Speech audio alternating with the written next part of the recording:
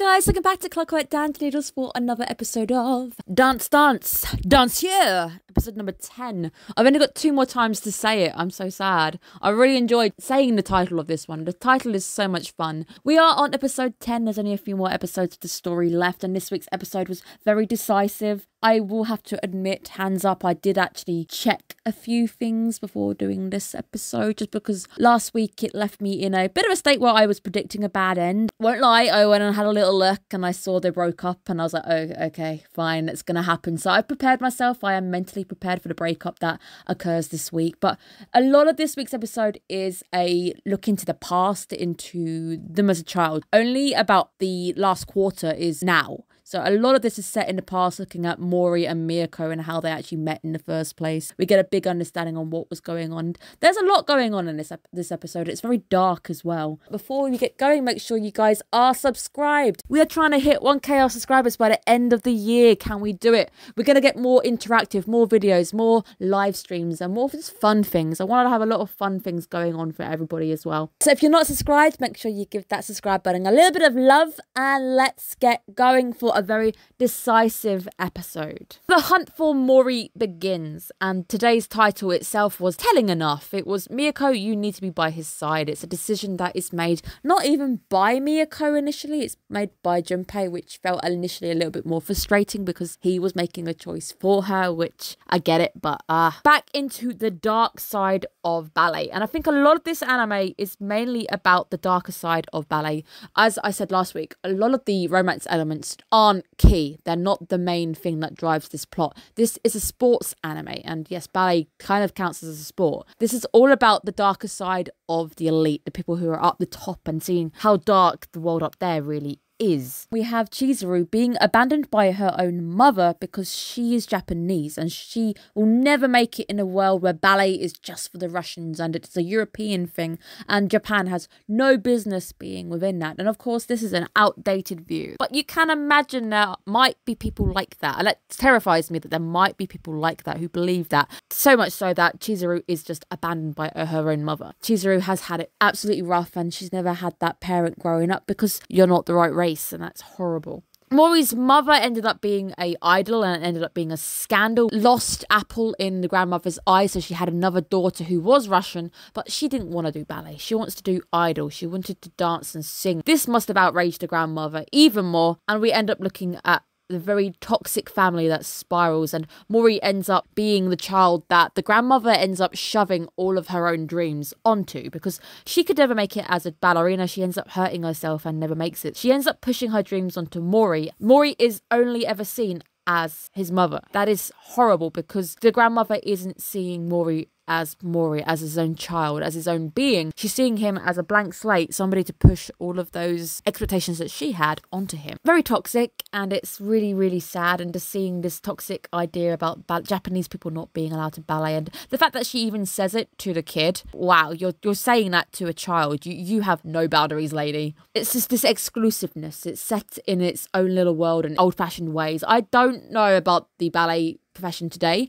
I would hope we've come a lot further than this ideal, but I don't know much about ballet. That's why I'm hoping the anime will show us that the ballet world has become a, a lot more inclusive, hopefully. So, from the lilac fairy to the demon, the villain of the play, the grandmother's attitude, very quickly the child cottons on that she's the villain, not so much the fairy that she initially sees. And Miyako initially seeing the grandmother as once upon a time you were this lilac fairy, but now you've turned into the old lady in the woods who's isolated herself and who hates everybody. Built up toxicity within her. So Mori and Miyako end up meeting in secret. They are sharing sweets. They're doing something they know their parents won't agree with in secret because both of them initially have this restrictive growing up childhood, but obviously Mori is a lot worse than Miyako. This childlike purity to her because she wants to be friends. She wants to play with Mori. She wants to be inclusive. Take him home. He's related to me. I want to play. This is that niceness that you get with kids. I like the idea that kids aren't born racist. They are taught to be racist. All kids are happy to play with whoever they want to play with because they're young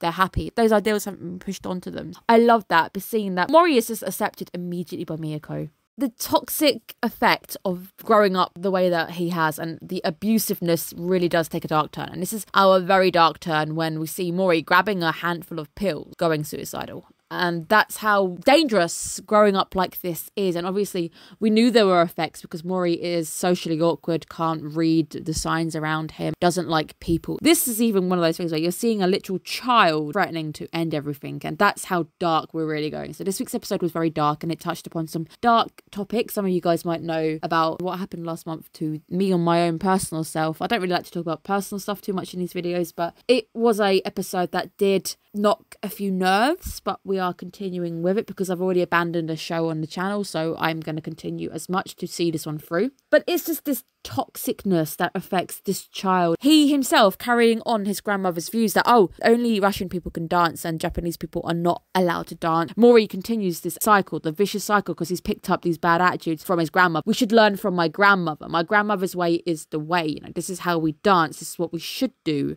Don't be like your mum. He actually physically says that. And you're like, wow, that is toxic. And his child doesn't know any better because the people who should be there to look after him are abusing him. Mori and Miyako's relationship initially is one of dependency. Mori depends on her to allow him to have two hours a day of escapism, escaping from that hell that he is in, the cage that he is in. Miyako allows him to be himself and sets him free. Those are the two hours where he's allowed to dance as himself and be himself because she sees him as Mori, not as Mizuru, not as the mother. Now, to her, it's a chance to practice her piano and everything. She wants to set him free. It's a relationship where, if you were to ask me even later on if I believed it was romantic, I would still say no. One is dependent. So, yeah, Mori may love her, but Miyako, as we even see when she gets angry at the breakup, that she did enjoy being with him. And eventually, it's Junpei's pushing that pushes her away. She wants to set him free, be a cousin. And I don't believe anything romantic on that side exists. I don't see that there.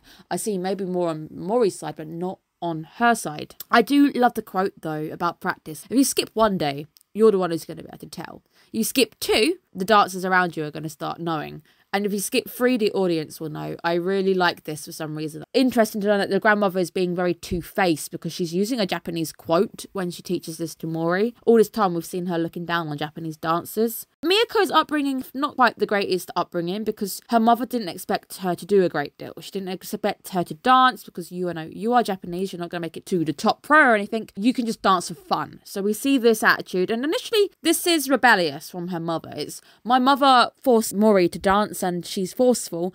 Therefore, I'm going to be rebellious and be the opposite. I'm not forcing you to dance. But although she is technically accepting that Japanese people can't dance, she's just allowing her to have fun. There's a negative side to this. So, as much as that sounds great, there's a negative side because to Miyako, it sounds like you're going, well, you're not good enough, therefore you can do what you want. Miyako ends up just dancing for the fun of it. But Miyako ends up stating to Mori, I want to dance. I want to be that princess. It's sad because that's the downside to the mother trying to be a bit more hands off with her, the approach. But Miyako wants to go pro. The love for dance, being able to dance without this toxic reason, is what we're seeing with Miyako. She ends up loving dance for the good reasons. We do see Mori turning his back on Miyako to continue dancing. If it is love, it's a very toxic love because he only picks her at the end because she's there clinging to things that are around him. And uh, she's the first person who's seen him as himself, escapism that she provided. But when he does turn his back initially on her as a kid and he goes back to his grandmother's way, I don't know anything but my grandmother's teaching. I'm scared. It's a bit of Stockholm syndrome as well. It's one of those things where if you were to ask me if it's love, I'm going to tell you no, yes. They love each other, but he loves her in a different way than she loves him. Miyako vows to become pro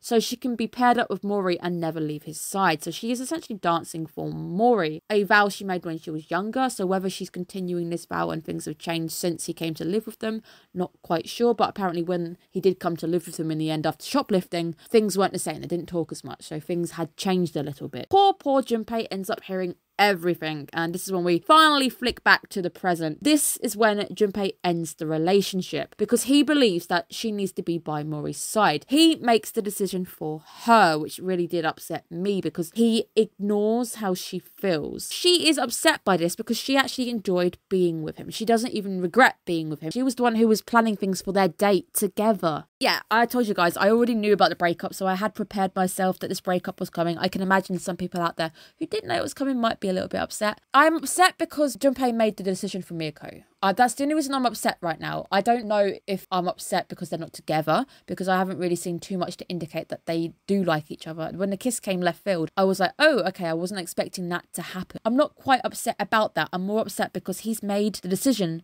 ignoring how she feels. And she is hurt because she actually wanted to be with him. She's like, what about us? And Junpei's obviously made that decision in his head. Thinks he's being self. He's thinking about Mori, not how he feels. Painful because you're hurting somebody else in the process and taking away her ability to even make a choice. Final part where we see Mori dancing the female part in front of the grandmother who's got dementia by this point, who doesn't even know who's in front of her. Only seeing her daughter dancing in front, not seeing Mori. Never seeing Mori as Mori, only ever seeing her daughter. Mori has finally accepted this and he's just dancing the female part over and over because it makes his grandmother happy and that's all he's ever wanted to have that acknowledgement just by her. The sad thing is, she's not acknowledging him, she's acknowledging her daughter who isn't there. Even if it is a kind of gratitude and she's saying, This is amazing, blah, blah, blah, but she's got dementia. She doesn't know what she's seeing. It is really sad. It's toxic. Junpei trying to recognize Mori. He recognizes the curse that's been put on Mori and decides that the world needs to see Mori for Mori and not his mother. Stop saying you're going to do great things because of the mother who you come from. It's not about your roots, it's about you. Props to Junpei for doing this because somebody needs to shake it into Mori that you are yourself and not your mother. Junpei pushes for the Rothbart dance. Show the world your dance because this is the one you ended up dancing. This was your dancing. He sees Mori as a person,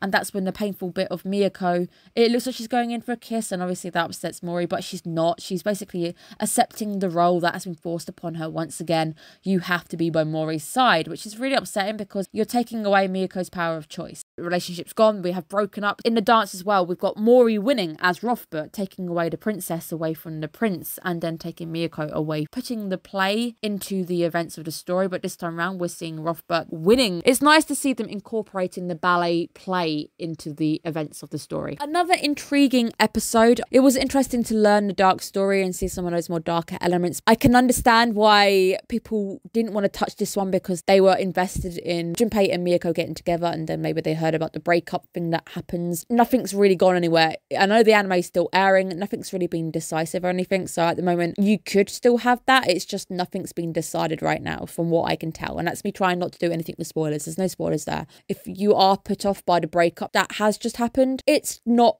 a confirmation. We've got no ending right now, so anything can still happen. So maybe eventually they will get together, but now isn't the right time. I hope so. Maybe that's the case. Mori's dependency on Miyako is still toxic. It's a dependency that he's grown because she's the only person that's been around. That is still toxic because they are technically cousins, but I don't know what cousins they are. They're probably first cousins, which means it's wrong. So it's just generally wrong.